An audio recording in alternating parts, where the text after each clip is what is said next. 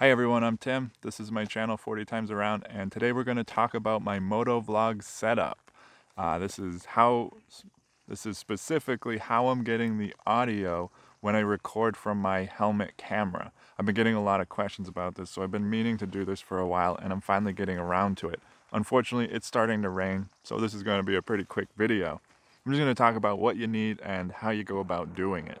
Now, first thing I want to say is that this only applies this system will only work if you have a GoPro 5, 6, or 7. Uh, it won't work with anything else. So if you don't have one of those cameras, this video probably isn't going to do you much good.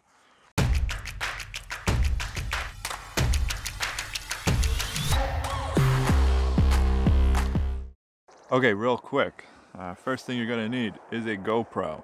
This is the GoPro 7 Black. Uh, if you don't have one of these, you could have the 6, the 5, any series of those, it should work. Uh, that's the first thing you're going to need. The second thing you're going to need, and this is all assuming, of course, that you have a motorcycle and you have a helmet. Uh, the second thing you're going to need is this annoying little thing right here, this little dongle. This is the GoPro mic adapter. Super annoying little apparatus, but you absolutely need one of these if you want to record audio from an external microphone on a GoPro 5, 6, or 7. It's super annoying. I hate it and I think everybody hates it and nobody's happy about it. But GoPro just won't fix this situation, which just does not make any sense to me. Anyways, these things are going for about 50 bucks, which is a real kick in the gut. But you don't have a choice. If you want to use a GoPro and you want to moto vlog with it, this is what you need. Now you can get them on Amazon usually. Uh, they were for some reason out of stock everywhere for a while. I think that's back to normal. I think they're available. I mean, it was kind of ridiculous because people on eBay were selling them for a hundred bucks, which if it's not on Amazon for some reason, go directly to GoPro's website. They'll send you one 50 bucks. They're not going to overcharge you. Well, it's already overcharging, but they're not going to overcharge you beyond that. Anyways, second thing you need. Third thing you're gonna need is a lavalier mic. Now, uh, I got recommended by a friend of mine, D Mal, who's on YouTube. Uh, he actually made a comment a while ago about my audio quality on my moto vlogs and emailed me and said, hey, you know, I want to help you get get this audio better. Uh, he did. He, he got me the stuff I needed to, to upgrade my audio and huge shout out to D-Mel. This was a while ago, so uh, I've been meaning to do this video for quite some time. Anyways, he also recommended that I check out Chase on Two Wheels has a uh, really helpful video on his motovlog setup. This is pretty much identical to his, uh, and he recommended the Purple Panda lavalier mic, and I've been using it, and I'm super, super happy with it. Uh, so I'll leave a link to that down in the description box down below so you can find the exact one that I'm using. Now, that's the stuff you're gonna need. Um, also, I'll just show you my setup real quick. On the helmet, I have GoPro mount right here, and that is held on there with Sugru. Uh, Sugru is like a Play-Doh kind of thing. Um, sorry about the fireworks in the background if you can hear that. It's 4th of July and I'm trying to bulk film because I'm getting ready to do the Idaho BDR and I won't be able to get much work done. Uh, so Sugru holds this on. Make sure you peel the sticky back off of the, the mount.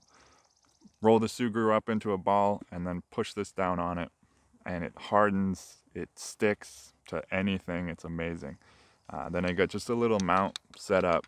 Depends on where you want to position it. Um, and some people recommend that you change this out with a different um, housing for the GoPro. This is the one that comes with the GoPro and it's been working fine for me. Now you will notice there's a little door right here, a little opening. That is for your USB-C. So you're gonna have to pull this door off. I'll show you how to do that. You're gonna open this door. Uh, this little thing slides. Slide it down. Just hold on to it and just pull. Comes right off. Push that out. Line that up. Push it in. That's it. Door's back on.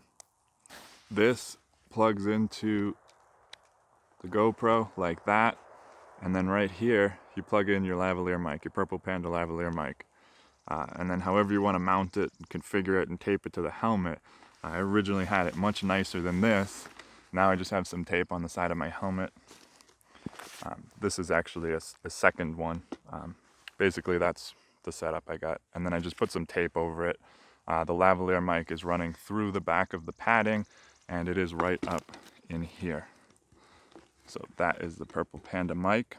Now originally, some of you guys that watch my videos know that one of my first moto vlogs on my indefinite travels, uh, the camera was mounted down here and I had it all nice and neat and beautiful, but I never, uh, I never checked to make sure that the angle was gonna work before I left because I was just craziness getting ready to leave on my big trip. So I had to move this mid-trip uh, with what I had with me and that's why I got this crappy tape here, but you really can barely see it. Um, but that's where the dongle is. Uh, something to remember when you remove this door, it is no longer waterproof. So if it's raining, like it's starting to do now, uh, be aware of that. Moisture will get in here and it will screw with your GoPro.